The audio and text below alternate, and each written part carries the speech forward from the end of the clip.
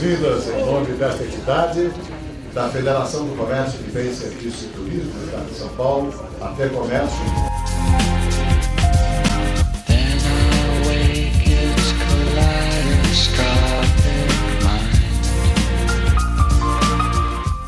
Porque o cara não sabe falar inglês. Aqui o Winston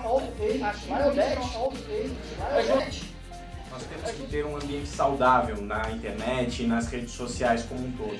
Então é muito importante que o governo, que o governo é, pense como um todo.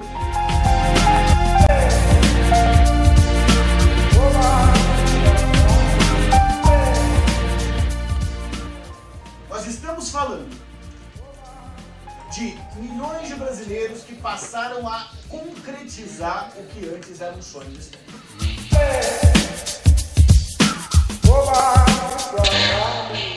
Uma recomendação para todos, né? deixem as suas redes sem fio, né? sem fios fechadas, por favor.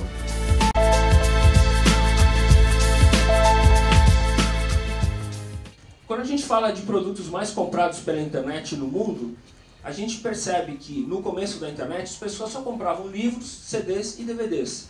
No Brasil isso também aconteceu. No Brasil, em 2009, 70 milhões declararam ter usado a internet, comparação 55. Esses são os números que todo mundo já viu.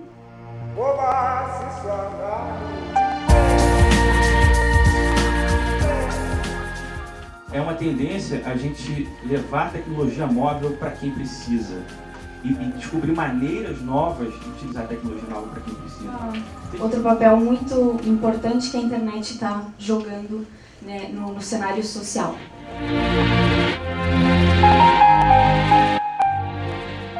É, que são aqueles que não veem somente é, essas pessoas como consumidores, mas veem essas pessoas como é, parte da sua cadeia de valor é, para não somente é, comprar alguma coisa, mas produzir alguma coisa e receber por isso também.